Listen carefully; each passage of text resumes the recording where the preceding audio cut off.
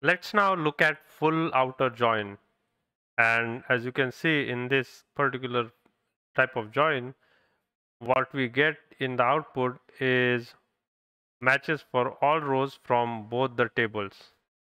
And the way this works is uh, as shown in the uh, table below. So let's look at it.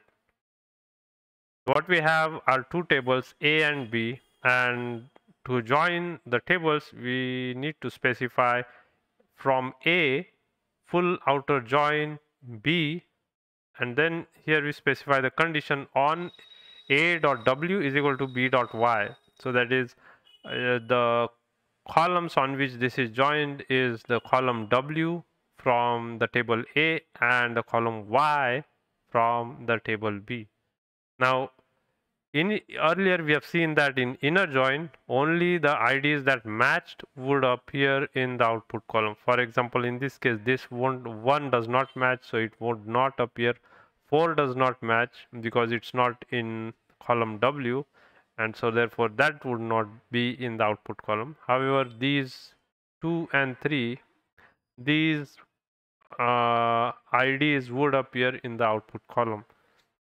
Later on in the cross join that we saw what uh, in that case the joins did not really matter in the sense that each row was matched with each row from the other table. And so that was another type of join where even if there was a mismatch between the IDs uh, from the, uh, the even if there was a mismatch it didn't matter and actually there was no id there were no ids required to perform the match in that case. And so each row was matched with each other row.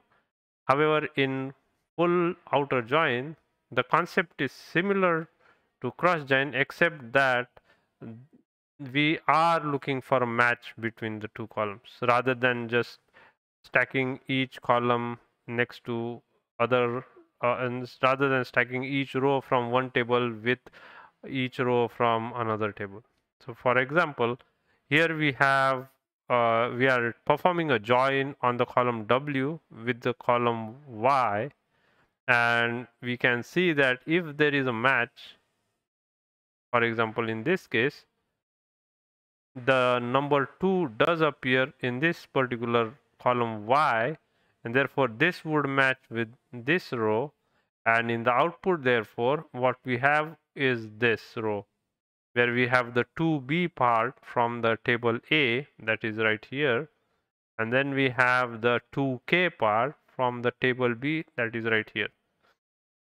In case if the ID from the tables do not match, let's say uh, in case of 1, the 1 does not appear in anywhere in this entire column of Y, this particular row would appear still appear in the output with a caveat that the values for y and z would be set to null because uh, that particular ID does not exist in table B.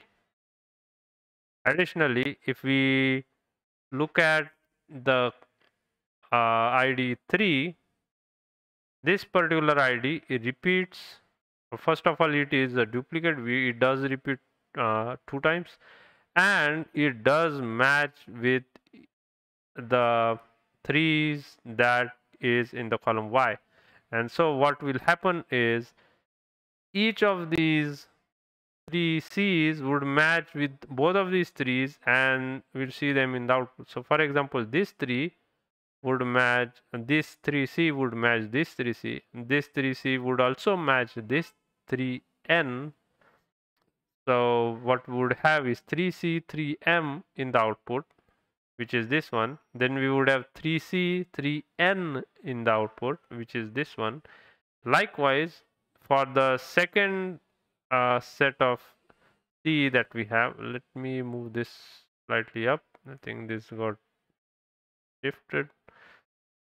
At the same time, if we look at 3D, this 3D would also match with this particular 3M. This 3D would also match with 3N. And then what would have in the output is uh, 3D 3M that would be this record and then we would also have 3D 3N that would be this record right here.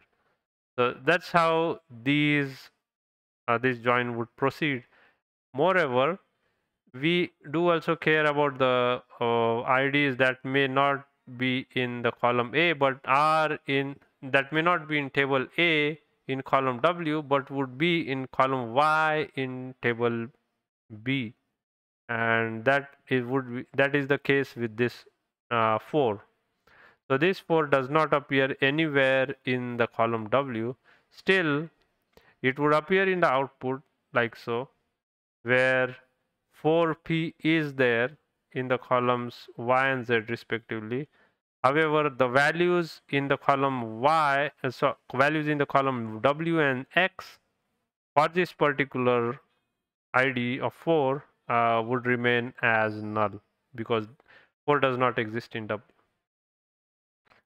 Apart from the way the condition is specified here where a dot w is equal to b dot y additionally there is another way we can perform the same full outer join by specifying using.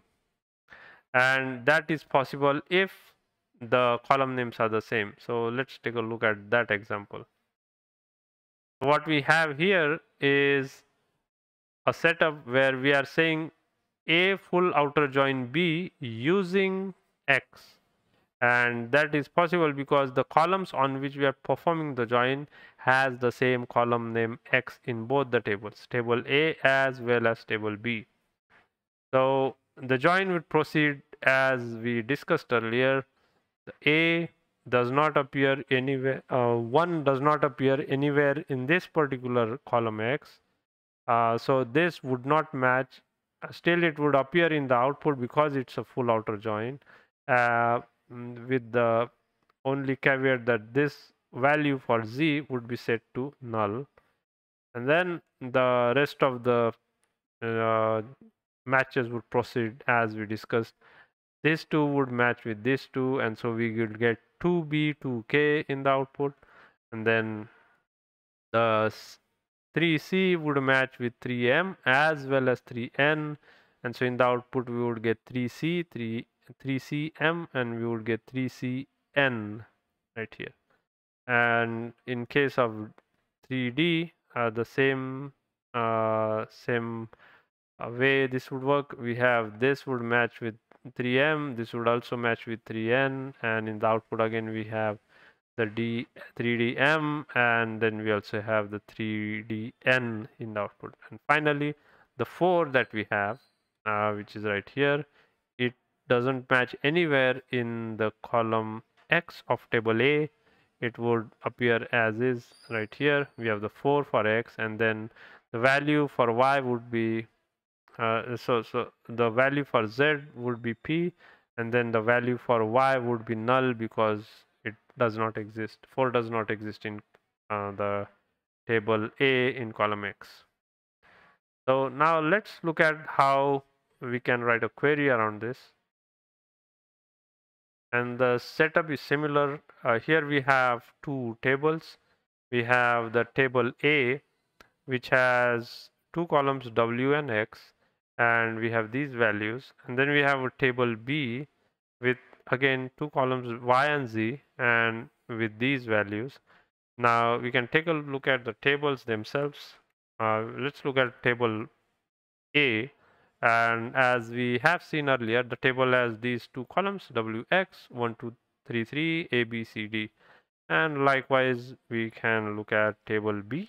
And table b again has uh, two columns y and z. And we have these values in them let's now comment these out and after we comment out what we can do is uh, write the line of code for performing the join. And that is right here. So if we can we can go ahead and delete this and comment this out.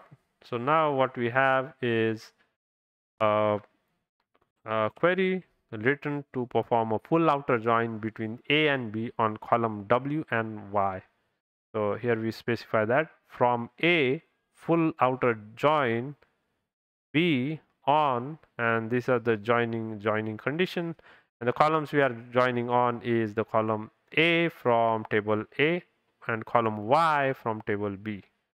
So let's run this query. And in the output as we saw earlier from the docs we should get the records as we see we have all the records from the table A and B in the output uh, with uh, with a note that if there are mismatches in that case null would be found. For example the value of 1 from column W does not exist in the column Y from table B. Therefore we have a null and therefore all other columns in table B would also have a corresponding null value and likewise for 4. Uh, at the same time, we also looked at a case where if we have the same column name, so let's say we have two tables now where there is a column W that exists in both the tables. In that case, we could rewrite this particular line. Instead of saying full outer join on X and Y, uh, here we could simply say using so here we could say using using w. And what uh, the reason why this would work now is because we have renamed that column y to w. And uh, we should get the same output as we did before uh, with the, this change in the query that we have written so let's take a look at this and we have the same output where we have all the records from column A and column B uh, in the table, output table. So that was it for full outer join. If you have any comments or suggestions, please do let me know in the comment section below. I hope to see you all in the next video. Until then, please like, share and subscribe. Thank you.